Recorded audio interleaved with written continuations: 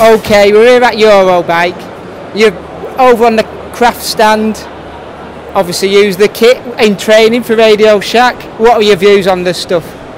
I really love this stuff. Especially, I have one uh, favorite item. It's the the very light summer jersey. And this summer it was pretty hot. We had temperatures around 40 degrees, and I was just wearing this uh, this jersey, and uh, I love it. And uh, I also use uh, a lot of craft stuff in winter for my winter training. I do a lot of training on the skis, on the cross-country skis, and so uh, yeah, I'm for years now a big fan of uh, craft stuff, and it keeps me warm and cold uh, all over the year. So I'm pretty happy with. So you avoid the turbo training in the winter, stuck in a basement. You're out out in the cold. Uh, yeah, I love it uh, because I love to be in the in the fresh air, in the nature, and I don't like it to sit in the cellar and to pedal for four hours on the on the home trainer. It's not my favorite training, so you have to do what uh, keeps you relaxed in your mind and motivated, and so it's you have to make a combination. You go like three, four hours with the skis, and then for one hour with the with the home trainer. Then you have uh, really good quality training. How much input do you guys have in the development of the kit? Uh, yeah, we are pretty much in intense contact with uh, Craft. They are always at the races and uh, at the training camps, and then they ask us, okay, do you have any suggestions or, or wishes, or uh, what can we do better?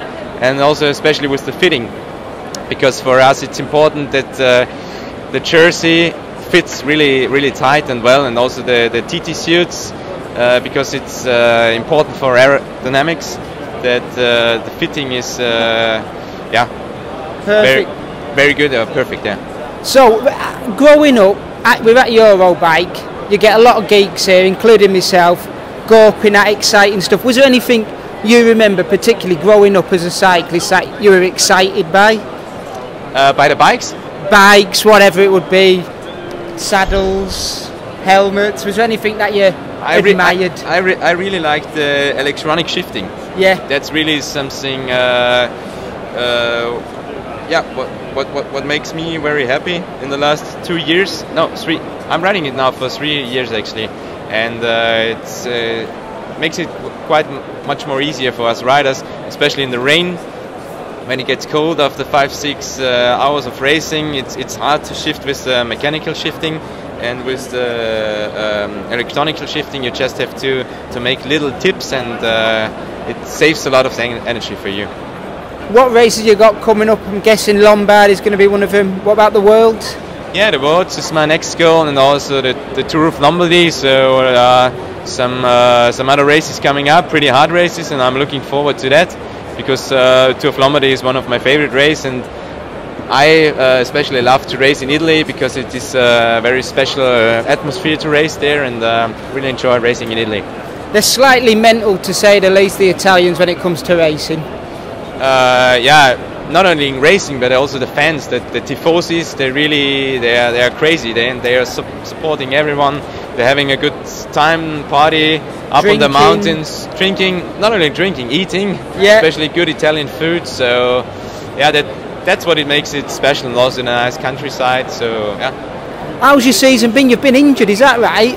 Yeah, it wasn't my best season so far. I had a lot of bad luck. I had uh, in the Spring Classic in Amstel Gold Race and Flèche Wallonne two crashes. I was injured after then, so couldn't ride the Giro.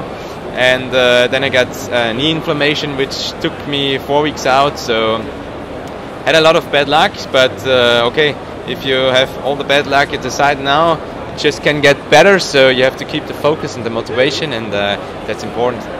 How do you keep that focus? Because as an amateur, you have an injury, you eat the Cadbury's chocolate, the Doritos, and worry about the train at a later date. Obviously, as a pro, you can't do that. No, not at all. You always have to, yeah, to keep the motivation and uh, don't let your, yourself hang down. It's important to, yeah, to have good company. Like I trained now a lot again with uh, Frank Schleck, and uh, it's good to have people around you. They they support you and give you some inspiration and motivation as well. It's all changed next year, Radio Shack to Trek. Will we see you on the team or are you in talks with anybody else? Are you allowed to tell us? Uh, it's not sure yet. I didn't sign anything yet, so uh, I'm in negotiations, but uh, I didn't sign anything yet. there are some races to come up. I hope I can make some results, and uh, after that, I will make my decision. Good luck with that. Good luck with the rest of the Thanks a lot. season, and thank you ever so much for your time. Thanks a lot. Enjoyed it.